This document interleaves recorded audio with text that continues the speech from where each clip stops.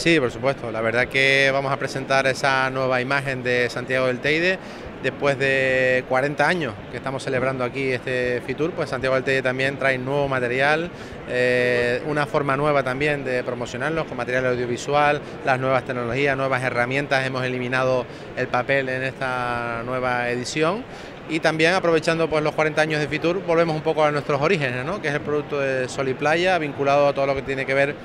con la naturaleza. Somos diferentes por naturaleza, pero desde la costa hasta la parte alta. Eh, emblemáticos acantilados de los gigantes, nuestro acuario natural también que tenemos allí, un parque eh, natural, nuestros productos cetáceos, todas las actividades que se pueden desarrollar en el mar, pero también todos los recursos eh, culturales, patrimoniales y naturales que tiene Santiago del Teide, como es el volcán Chinllero, esas coladas volcánicas que nos deja el recurso natural, la floración del almendro, que empezamos ya este sábado con esa campaña también importante para nosotros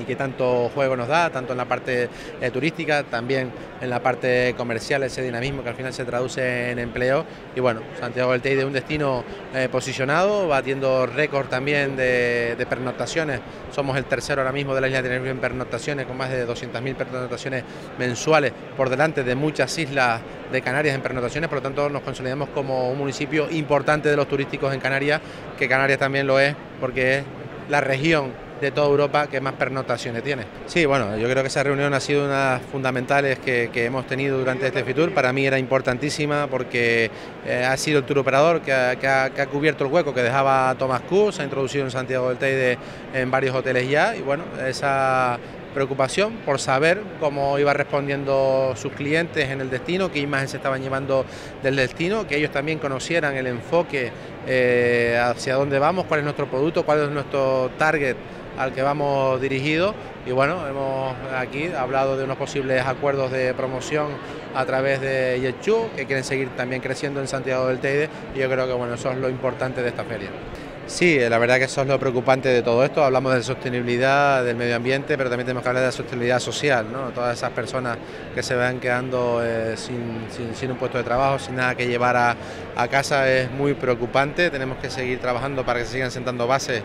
en, Canarias y especialmente en Tenerife. Ya se ha hecho un trabajo también enorme dentro de Turismo Tenerife, donde estamos integrados también como socios para que nuevas bases como es Yechu tenga base en Tenerife, se está hablando de esa sostenibilidad, posibles nuevas compañías que puedan surgir con acento canario puedan estar también, se está trabajando, se les está apoyando en la administración pequeña, en este caso como es el Ayuntamiento de Santiago del Teide, bueno, y esperemos también que pronto podamos dar esa noticia. Sí, bueno, la verdad que como bien sabe la unión hace la fuerza, era importante eh, estar aquí, ahora todos eh, los, inicios son como son, yo también me arrancaba como alcalde de la legislatura pasada y tenía muchos problemas de los que preocuparme, bueno, y una vez ya solucionados, es verdad que también siempre me había atendido eh, el, presidente de la asociación, don Miguel Rodríguez Fraga, y la predisposición que ha tenido, pues también esa insistencia pues hace que también Santiago del Teide esté integrado. Con todos los municipios turísticos ya de Canarias, los tres estamos integrados en esta asociación. Yo creo que que esa imagen también que damos al exterior de esa unión, que proyectamos, eh, esas soluciones que dimos en su momento al problema de Tomás Cuba, apoyando al Cabildo y al Gobierno de Canarias y dándoles nuestra opinión desde el conocimiento más cercano que tenemos de la, de la problemática, pues ha hecho que esa imagen que se ha proyectado de un destino solidario, un destino seguro, es lo que hoy en día también está haciendo que los datos de, Canarias para para el próximo año sean muy positivos, con crecimiento en el mercado británico, con crecimiento también en el mercado alemán. Sí, ese es importante, ahí tenemos que seguir trabajando en mejorar la, conectividad y sobre todo el tema de los precios que nos preocupa mucho. Sí, bueno, ese es uno de los problemas que trasladamos también estos días a las compañías aéreas, el problema, el descuento del residente, bueno, ellos nos planteaban... Eh, su propuesta ¿no? de, cómo comercializan su producto. Al final son empresas que quieren ganar dinero, pero nos decían que ellos... Sí, no, bueno, y nos decían que bueno, que el 75% que ellos no han incrementado tarifas, pero es verdad que si lo compras con seis meses de antelación tiene un precio y que tienen que competir con las low cost y que cuando compras el día antes pues tiene otro precio. Pero lo que no es de recibo que un turista nacional quiera ir a Tenerife y le cueste 700, 800 euros, como bien dice, porque no tiene el descuento, y que les haga más barato ir a Turquía o ir a otro destino en el norte de África. O como un turista británico que va a Canarias le sale más barato que volar de Madrid a Canarias. ¿no? Bueno, y esas son muchas cuestiones que están sobre la mesa que tenemos que seguir trabajando.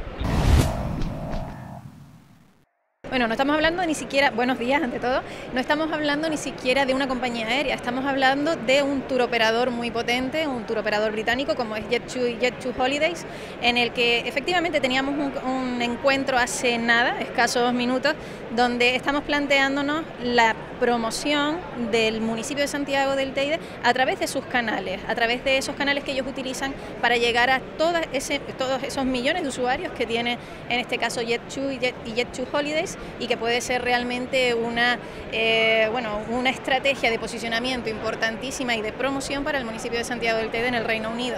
Efectivamente, porque eh, es cierto que no se comunica de la misma forma hacia unas edades determinadas a lo mejor más asociadas a la, a la, gente joven que a unas edades quizás ya más maduras, ¿no? Un perfil que quizás tenga en torno a 55, 60 años, que realmente el canal para llegar a ellos es diferente de verdad que ha sido muy provechosa porque se han valorado todos esos canales para llegar a los diferentes targets que entendemos que son los que realmente llegan a Santiago del Teide, los que buscan a Santiago del Teide para esos días de ocio, de vacaciones y la verdad que, estamos esperando por parte de ellos una propuesta bastante interesante. Nosotros realmente el fuerte del destino Santiago del Teide, en concreto en la zona alojativa, la zona costera, está centrado sobre todo sobre el turista británico. Luego le sigue el alemán, también tenemos una presencia importante mm, fluctuante, también de franceses, también polacos, también rusos, pero bueno, ya son digamos nacionalidades que oscilan mucho durante el año, pero realmente eh, el grueso del, del, turista que nos visita es británico. Santiago del Teide, si hay algo que puede decir a boca llena podríamos incluso gritar, ¿no? que somos un destino perfectamente completo. No podemos obviar que el producto de Sol y Playa es nuestro producto estrella, porque bueno, también es el que ha permitido el desarrollo social y económico del municipio de Santiago del Teide, pero estamos trabajando y hemos venido trabajando durante estos años en el, en el posicionamiento y la diversificación de producto turístico de Santiago del Teide